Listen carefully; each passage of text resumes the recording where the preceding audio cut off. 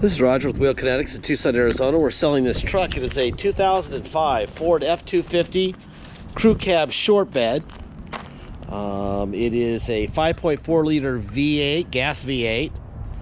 It's four-wheel drive. It's a Lariat, which is leather. And this truck has 44,525 miles. It was a theft recovery purchased directly from an insurance company in El Paso, Texas. Uh, we bring them here. It's on a clear title, by the way, and it's and it's actual miles, 44,525. Uh, we bring them here. We do an inspection. Uh, once we get the inspection done, uh, we will uh, tell you what that says, which is what I'm going to do right now. Runs and drives great. What do we do to it? We put new tires on it. Uh, you need to know it was stolen in 2006, recovered in 2019. Um, in 2006, it showed 30,000 miles on the Carfax, which I'll show you in a minute, and now it shows 44,000. Uh, so I guess they drove it 14,000 miles, and it wasn't a very nice 14,000 miles. I can tell you that. Um, we uh, it runs good, it drives well, but it's got dings and nicks all over the place. It doesn't look like a 44,000 mile truck but uh, I'll show you the title that we have in our name. It's actual mile title. I'll show you the title we got from Texas was actual mile. So there you go. Um, new tires. We put a louvered tailgate on it. Um, used rear bumper. Um, used rear bumper. Has sensors but uh, truck never had them. So in other words, what we did was, I'm reading ahead here, used bed. We had a bed that was actually in better condition than the bed that was on this truck, which is hard to believe because this is the bed we put on it, okay? It's got dents on both sides. I mean, that's what it looked like. And I don't think, I think that the bumper that was on it was all hammered too. And we had that bumper, so we put that on. But the truck never had sensors. So this bumper has sensors. The truck doesn't have it, never did. Okay, we're just trying to keep the price down uh, for this truck. Um, used back glass. That back glass just got here from uh, junkyard. We just put it in. The middle glass was broken out. That's probably how they broke into the truck. Um, let's see. We had to do a new fuel pump, new coolant bottle, and a new battery. Um, like I said, I'm going to walk around the thing. I will point at things that uh, I see cosmetically. It's pretty obvious. My brother will take photos of it uh, for the photo gallery, and uh, you can go from there. Like I said, we have brand new tires on it. It's got scuff here. We can sit here and touch this thing up all day long. Um, basically, you know, there's no point in that. It's not a pretty truck. Um, if you're looking for a show truck, uh, you'd have to spend more than this truck costs brand new to make it a show truck. Okay. Um, it runs pretty good. It's got a new set of tires on it, and it's got low miles. But uh, I would say those four. See this door down here? I would say those 14,000 miles were not kind. They probably took it across the border, ran a bunch of weed in the desert, which is what happens down here in Tucson also. And uh, there you go.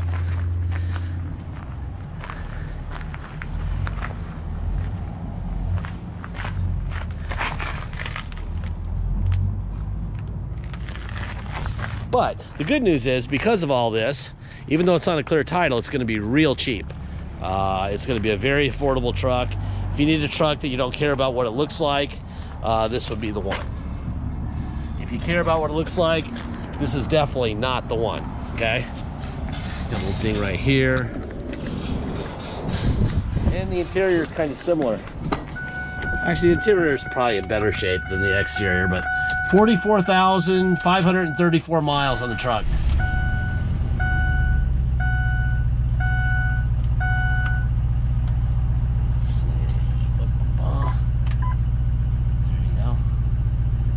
All right. All right, here's the Carfax. There's the VIN. 5 4 four-wheel drive history events affecting this vehicle's value. So they blend the Kelley and the Carfax together they come up with a Carfax history-based value of $19,230. You're not going to pay anywhere even remotely close to that for this truck. So don't panic on that news. I'm just giving you what they say. Uh, there's a VIN for it. No accidents reported. Damage reported. That's kind of obvious. Last reported odometer was 30,500. We have a new title for it now, so I'll show you that in a second. Guaranteed, none of these major pro tire problems were reported.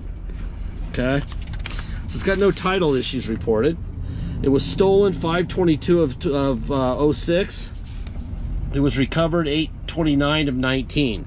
So here you go. You got 30,000 miles in uh, 2006. Okay.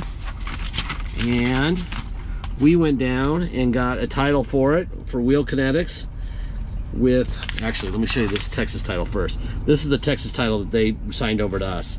Texas Farm Bureau. Bureau. It was uh, issued to the Texas Farm Bureau 725 of 19 with 30,500 actual miles. Okay.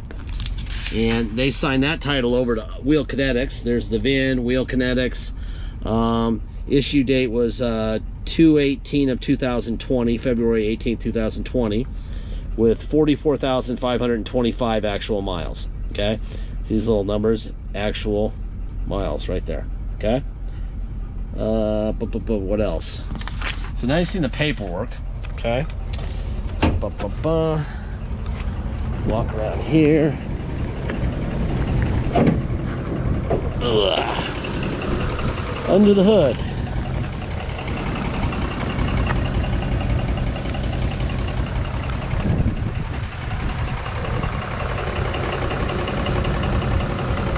Truck. Let's see uh, if the Ford stamps are where they belong. There's a Ford stamp there, so it's original fender. Ford stamp. Oh, Ford stamp right there. Kind of hard to see. It's got paint in it, but there's a Ford stamp right there. Let's see. Ford stickers where they belong there. Ford stamp there. Ford stamp right there. Okay. I would say this truck probably sat in the desert for a decade. I mean, the previous hood was just a mess. Let's see, what else we got? I'm not sure why this has occurred. Just more of going to Mexico. I have no idea what that's about. Seat forward, seat back, seat up, seat down, up, down, up, down, seat on and off.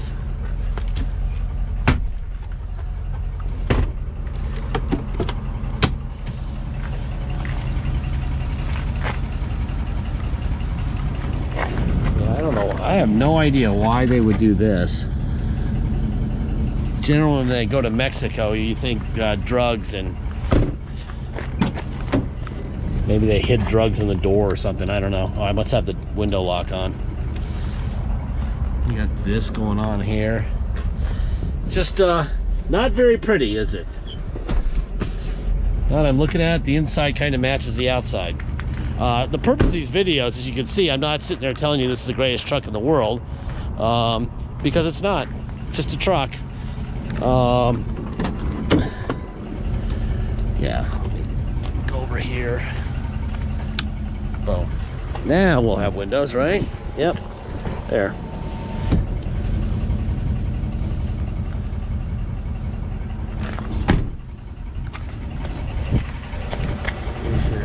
VIN.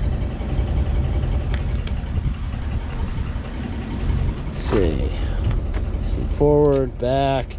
We had to repair this seat. I can tell this thing's been pretty much recovered, the driver's seat cushion. My guys missed that, or forgot to tell me that. There's that. Let's see. Let's see if the power pedals work. Nope. Power pedals in up, which is very common. I'm so over those things. We used to fix them. Those and tire monitors and backup sensors. We just tell people they're broken and we're not fixing them because they're just annoying. I have no idea why we ever needed them in the first place. There's a wind mirror out, in, up, and down. Other side out, in, up, and down. Not even sure if the radio works. Probably not, based on the condition of this radio? And the answer is no. All right, let's see. Air conditioning, let's see.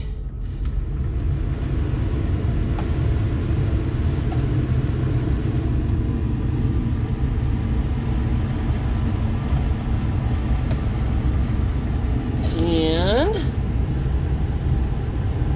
the answer is yes. Air conditioning works fine. All right seatbelt on here.